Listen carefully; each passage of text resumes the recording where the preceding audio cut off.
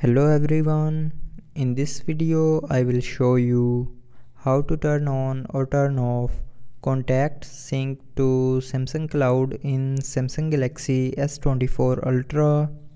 So before starting the video, don't forget to subscribe the channel and also press the bell icon. So first of all open settings.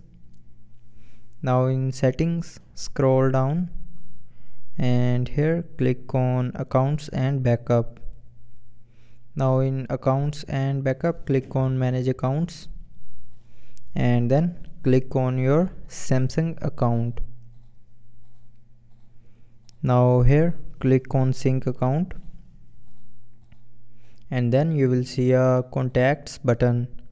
So if you want to turn off contact sync to samsung cloud then turn off this button and if you want to turn on contact sync to samsung cloud then tap on this button again to turn it back on. So with this button you can turn on or turn off contact sync to samsung cloud in samsung galaxy s24 ultra. So i hope you liked the video. Thanks for watching